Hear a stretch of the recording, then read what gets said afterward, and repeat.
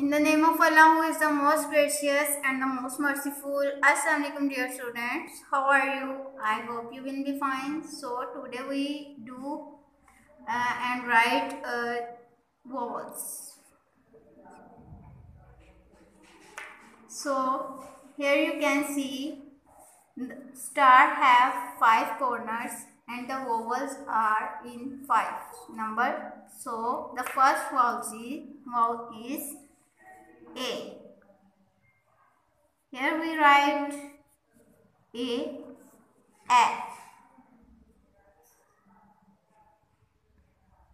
Second is E. Third is I.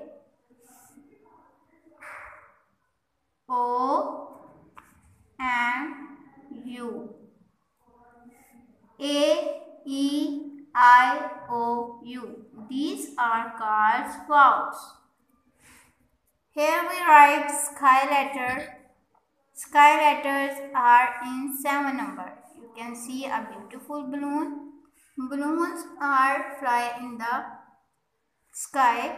So we write sky letter in balloon. The first is B. The first sky letter is B. Sky letters are those letters which we write on upper three lines. The second is D. D. The third is F. Fourth is H. You can see all these letters I am write on upper three lines.